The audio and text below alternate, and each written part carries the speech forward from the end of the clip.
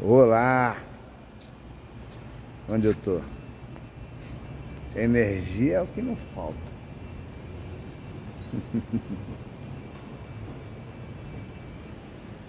é, Alphaville.